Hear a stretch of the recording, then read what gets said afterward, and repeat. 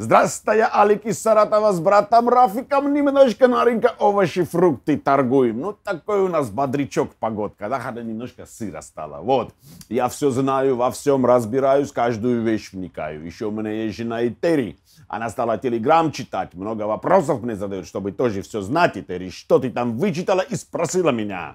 Алик, я слыхала там, что за георгиевскую ленточку штрафовать будут, что ли? Нет, нет, нет, нет, нет, не шуми ты, не, не, неправильно ты поняла. Не за георгиевскую ленточку будут штрафовать, а за осквернение георгиевской ленточки будут штрафовать, потому что Госдума приняла уже во втором чтении закон, где за осквернение георгиевской ленточки полагается штраф для юридических лиц до 5 миллионов рублей – для физических лиц до 3 миллионов рублей или на тюрьму тоже можно поехать э, на 3 годика. Вот, да, за, за осквернение георгиевской ленточки.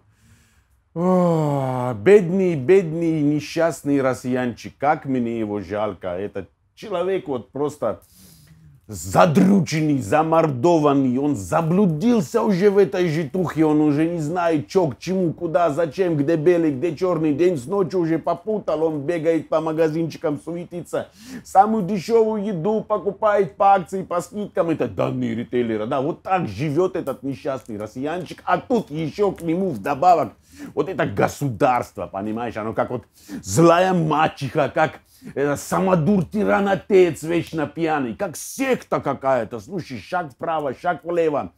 То не то сказал, не то вот ответил, не так подумал, и штраф, штраф, штраф, штраф, штраф. Вот за все, что угодно, вот понимаешь, бедный россиянчик со всех сторон зажат, слушай, да, вот теперь за георгиевскую ленточку, как это понять, где оскорбить, это просто, ну это полоска ткани оранжево-черная, по-моему, даже в Китае произведенная. И вот не дай бог россиянчик что-нибудь здесь сделает, не так, не туда повяжет, не туда сделает.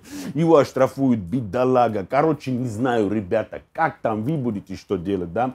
Но я уже велел и строго-настрого приказал Этери, Рафику, дяде Гамлету тоже сказал, чтобы к этой георгиевской ленточкой даже близко не подходили, вот понимаешь? Я не буду к ней даже, вот увижу, я отвернусь, даже смотреть на нее не буду, а то вдруг я ее каким-то образом своим взглядом оскверну и буду 3 миллиона рублей платить, а квартира в Саратове стоит.